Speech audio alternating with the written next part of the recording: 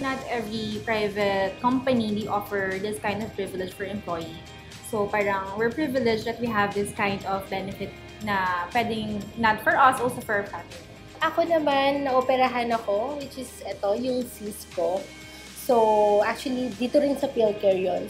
For me, um, it's really big help for me kasi I help my daughter. At the same time, every time na mako-confine siya, so, andyan si PhilCare, just issue my card and then, okay na.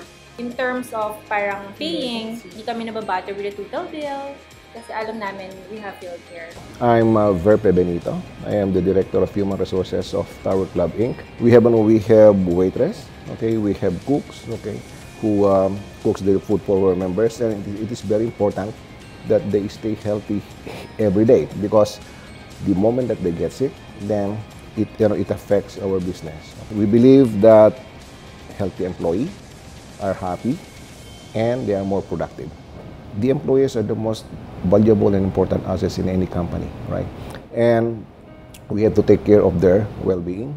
And um, Care has been providing us all those programs that really take care of our employees. I will um, recommend Care to companies like us.